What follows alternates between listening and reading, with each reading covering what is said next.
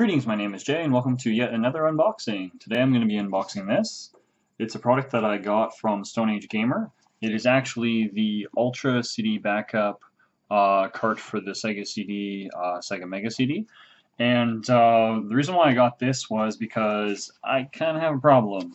I've got all these Sega CD games that require memory blocks. The system only has 200 blocks or 180-ish or something like that and the actual backup CD-RAM cart, the official one, costs 50 to 60 US or close to 80 to 100 Canadian. Uh, so I bought this. It was uh, $45 US plus shipping. Uh, so it's about the same price effectively, and it's effectively four memory uh, Sega CD uh, RAM carts in one. So I decided to go this option instead of going the official route because, well, I don't really want to have to pay for a bunch of different memory cards whenever I want to retain all of my save games because I just like keeping old save files. Just the way I am. Uh, and so went with this option. Anyway, without further ado, let's go with the unboxing. Just going to move the camera here to so that you can see and uh, sorry, try and get rid of that glare a little bit. And uh, let's start unboxing. I really, really like the uh, tape that the company uses. It's got a bunch of logos and is advertising their EverDrive carts. Uh, might get one of those in the future, but I'm not really a huge fan of uh, emulation, even if it is hardware emulation, but you know, testing games out before you buy them is everybody does it. I do it. Uh, and that might be a good way to go, so I know how it actually plays on the console, how it sounds. One of my biggest pet peeves with emulators is they sound wrong. Um, but they are getting better. Anyway, so here we've got really, really great bubble wrapping. It'll be fun to, uh, sorry for your ears, uh, get some use out of that later. Uh, there was only, let me get that out of the way. Uh, there was only one option for this. I think they used to do a different option where it didn't come with the label and the nice case and stuff like that. Uh, I still would have gotten it with the case uh, if there was an option of just doing the cart. Uh, and yeah, again, I got this from Stone Age Gamer. So there's the actual case and what it looks like. And uh, here's the actual image of the actual product, and I'm surprised there's no manual. That's a shame, but to be honest with you, it's probably extremely easy to uh, use. Um, not sure why this isn't wrapping and wrapping. I would say that's a waste of plastic. Uh, get rid of that. Alright, and here's the memory card. That's pretty much all there is to it. It looks just like a Sega Genesis card.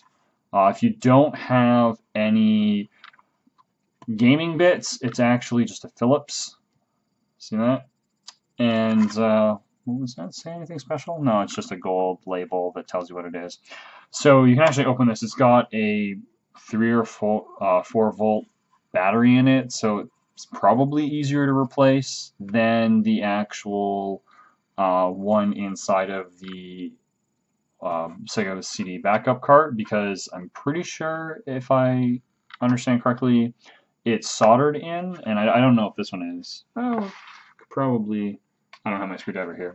Anyway, uh, with part two of this video, I'm going to give it a test and show its functionality, and I guess we'll see you in a moment. All right.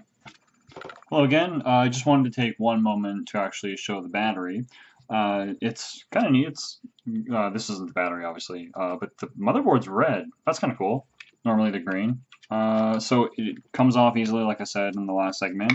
And it actually has a battery holder. I'll hold it up to the camera so you can see it.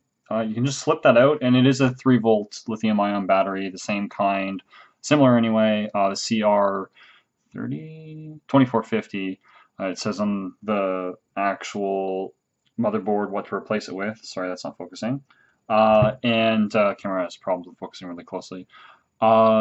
That's really, really cool. It just slips out, and uh, I'm not going to do it, but you just push down here on the bottom, and it'll slip out, and uh, focus camera. Uh, it'll slip out. I can feel it moving, as you can see. There you go. And it's really, really easy to replace. I wish that all gaming carts actually had this because to solder them out and in, I've done it before. I'm, I'm not bad at soldering, but it's just annoying. Uh, I think I'm going to look for these. So if anybody knows what kind of holder that is, I would really like to know.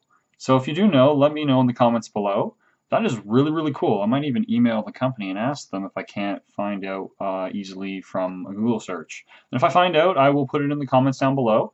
Um, having a lot of Nintendo and Super Nintendo games that take batteries and ordering batteries by the tray to replace them every. Uh, I've been doing it every five years. I know they last for I, they last for ten, but sometimes they don't. Um, this is going to be a really good option. Hopefully, I can actually go forward with that. Anyway, I'm going to put the cart back together, and then we'll show you the functionality. All right, so let's take this thing and plug it in. Um, I think you can actually plug these in uh, after the system's turned on, but it is a cartridge. I know memory cards kind of are too, uh, and I tested it and you can do this, but I like putting in the cart first. Uh, and uh, let's readjust the camera. Give me a second so that it is pointing at the screen. I will give you my view. Turn the system on. and uh, it actually reads it right away. Um, but I didn't put in a disk in uh, for the game to articulate a point. If you have a disk in uh, on this uh, screen, press C and it'll boot up into this menu. You'll notice that I actually I can't do anything. If you lift the tray and then close it, you'll be able to go here, but you still can't go up to access the memory. The only way to do that, uh, Lunar here, uh, and then close it, the top menu will open underneath the Sega trademark logo. And uh, you can either go to the CD-ROM, uh, play the music, or go to memory. And here you'll see that you have the built-in memory and the memory card needs to be formatted. And that's important because uh, all the memory cards need to be formatted right um, before that you use them. So I'm going to do that now and uh, so we're going to press any button and we are going to you can format that but I have like some save files like Sonic CD and stuff like that. Uh, so format the RAM cart. It's complete. It's just like that. Okay um, just going to redo this part to articulate um, press C. I have a game disc in.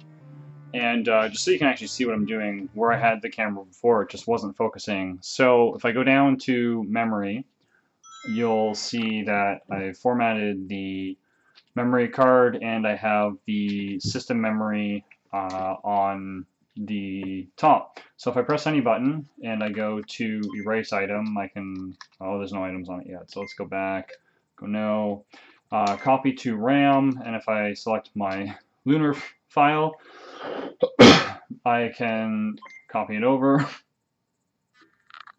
and it is complete. So now I can go over to the RAM cart and see that it's there.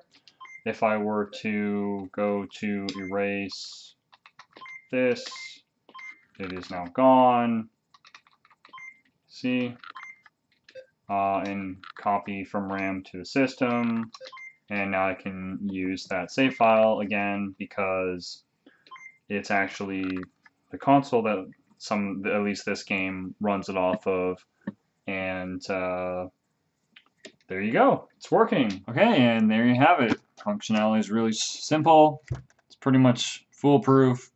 It works just like any other memory card uh, except that you should probably plug it in before the console's turned on uh, just because it might accidentally it. I don't really know. There's no suggestion to do that or not to. Um, and I'll be able to now keep all my old save files, so I'm very, very happy. Yeah, uh, four memory cards for the price of one. You can't really go wrong. I'm not really sure why I haven't gotten, I didn't never got this before. I was always looking at the official ones, and I decided, why not finally try this out? It's the same price I'm extremely happy with this product. Whenever I go ahead and beat Lunar uh, in the next few months, hint, hint, uh, and I get over to Eternal Blue, I won't have to delete my save file, so that makes me extremely happy. Uh, in case you're unaware, the console itself can save barely any games. Uh, effectively, you can save a Sonic CD file, Jurassic Park, and Lunar, and those are just some games that I own, and no more memories available on the actual system. You've got to delete something because Lunar takes effectively almost the entire memory card. So if you do that, you can save like one or two other games. So having this whenever you get over to Eternal Blue, if you don't want to, some people it doesn't bug, but me it does. Anyway, that's pretty much it. See you next time. If you liked the video, be sure to hit the like button. If you want to see more content, uh, be sure to subscribe. Uh, there'll probably be more unboxings in the future. Anyway, see you next time. Have a great day.